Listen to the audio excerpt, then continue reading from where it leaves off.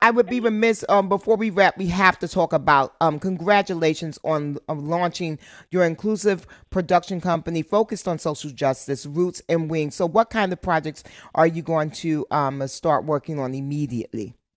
I'm very excited. I um, I have partnered with Octavia Spencer, and we wow. will be bringing.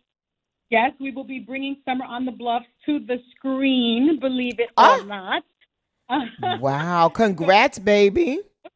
Thank you. I sent her the book. She loved it, um, and so we're we're in the it's in the works right now, actually. So we're working on bringing that to you. Um, I'm also um, very. I, I hired uh, Renard Caldwell. He's my new um, development executive, and we're we're taking pitches.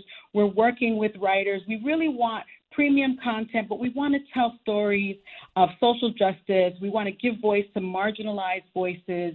Um, mm-hmm. We want to tell stories from the LGBTQ plus community because those voices have not been heard enough. Um, we want to tell. Um, I, I want to tell a story about Black Boy Joy because I don't. Mm-hmm. I don't see mm-hmm. that.